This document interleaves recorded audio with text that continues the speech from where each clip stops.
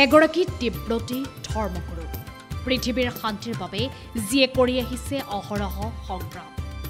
ডালাই লামা আজি তেওঁৰ অষ্টাশী সংখ্যক জন্মদিন। আজি উপজা দিনৰ দিনা আমি আমাৰ বিশেষ অনুষ্ঠান ফেচ অফ আলোচনা কৰিম ডালাই লামা কোন? তেওঁৰ জন্ম কোন?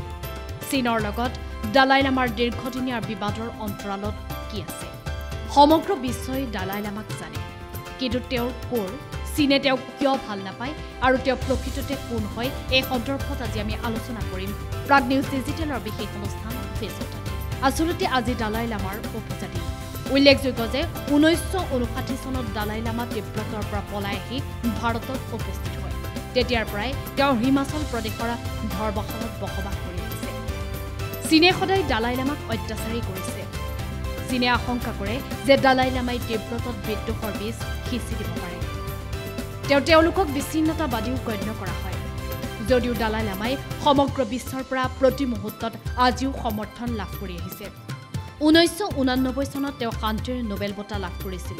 শান্তিৰ নোবেল বঁটা লাভ কৰা ডালাই লামাৰ নাম লমু থণ্ডুপ ঊনৈছশ পঁয়ত্ৰিছ চনৰ ছয় জুলাইত তিব্বতত জন্মগ্ৰহণ কৰিছিল এই লমু থণ্ডুপে ঊনৈছশ বাৰ চনত তিব্বতে নিজকে স্বাধীন ঘোষণা কৰিছিল। সেই সময়ছোৱাত চীনে তাৰ বাবে সন্মতি উঠিছিল।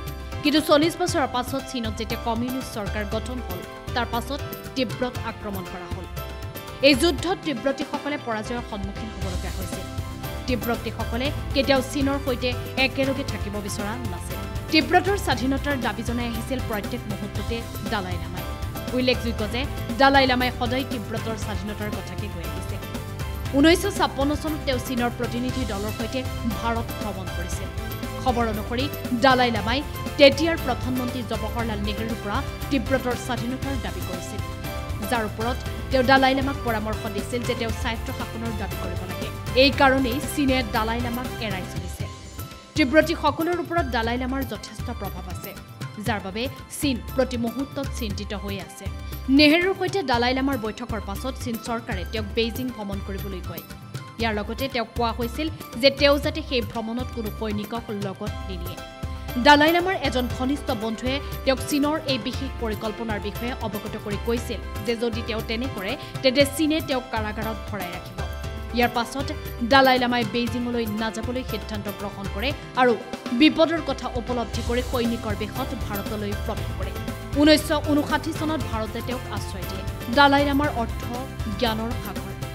লামু থুণ্ড্ৰুপ হৈছে তিব্বতৰ চৈধ্য সংখ্যক ডালাই লামা ঊনৈছশ চল্লিছ চনৰ বাইছ ফেব্ৰুৱাৰীত তেওঁক এই পদ দিয়া হৈছিল সেই সময়ত তেওঁ বয়স আছিল মাত্ৰ পাঁচ বছৰ।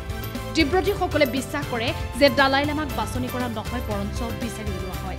কিয়নো তেওঁৰ নিজৰেই ক্ষমতা আছে যে তেওঁ নিজৰ পৰৱৰ্তী জন্ম কোনটো শৰীৰত ল'ব সেইটো নিৰ্বাচন কৰিব পাৰিব।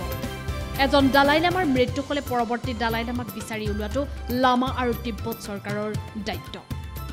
চীন আৰু ভাৰতৰ যুদ্ধৰ অন্যতম কাৰণ আছিল ডালাই লামা। এনেদৰে বহু সময়ত বিশ্বাস কৰা হয়। ভাৰতে ডালাই লামাক আশ্ৰয় দিয়াত অসন্তুষ্ট হৈ পৰিছিল চীন। এনে পৰিস্থিতিত শান্তি স্থাপনৰ বাবে ভাৰতৰ বহু প্ৰচেষ্টাৰ পাছতো চীনে ভাৰতত আক্ৰমণ কৰিছিল। গতিকে এইজনে তিব্ৰতী ধৰ্মগুৰুক কেন্দ্ৰ কৰি আজি আমি আগবঢ়ালোঁ আমাৰ বিশেষ অনুষ্ঠান ফেচ দ্য ডে পৰৱৰ্তী বা বাতৰিৰ বাবে চাই থাকক আপোনাৰ আপোন চেনেল প্ৰাগ নিউজ ডিজিটেল।